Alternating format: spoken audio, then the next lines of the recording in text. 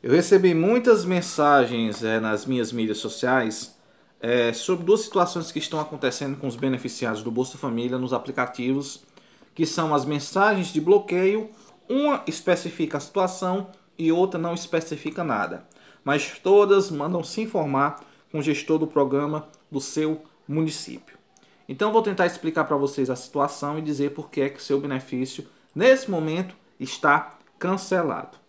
Preste atenção nas informações que eu vou passar, que é importante. Já vou pedindo desculpa ao som de fundo, mas tenho que passar essa informação, tá certo? Então, gente, é o seguinte. Os beneficiários estão recebendo a mensagem de bloqueado. Em um diz que o benefício está bloqueado e não tem nada especificando. A outra já vem uma especificação que é o seguinte: fala sobre a liberação da sua conta digital, no caso, aquela conta para usar o aplicativo Caixa Tem e também especifica que você não vai perder o seu saque. Você vai poder fazer o seu saque com os cartões que você geralmente já faz o saque.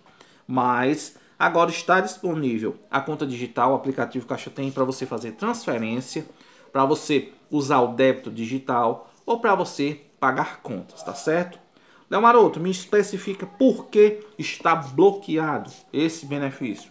Porque primeiro, gente, ele está fazendo uma análise em todos os beneficiários do Bolsa Família para saber se o seu cadastro está realmente é, correto.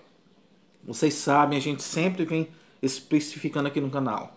Tem muita gente que recebe o Bolsa Família irregular.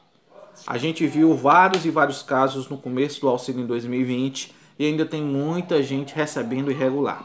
Por isso que está sendo feita essa análise para tentar evitar que essas pessoas continuem recebendo e tirando vagas de pessoas que realmente precisam. Então essa é uma medida é, é, do Ministério da Cidadania, junto com a Data Prev, junto com a Caixa Econômica Federal. Por quê?